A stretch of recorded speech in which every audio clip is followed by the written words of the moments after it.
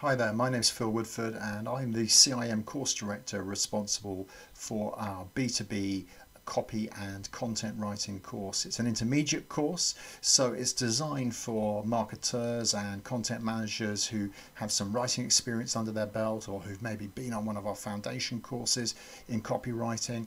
And it's designed to let you explore in more detail some of the challenges that you may face over uh, editing, um, headline writing, grabbing attention, sustaining interest in the world of B2B. One thing I'm absolutely determined about as a B2B copywriter myself is that uh, B2B does not have to be boring. And so the aim of the course is to inspire you to experiment, uh, to look at best practice, try new ways of bringing your B2B copy to life. And I very much hope you'll be able to join us.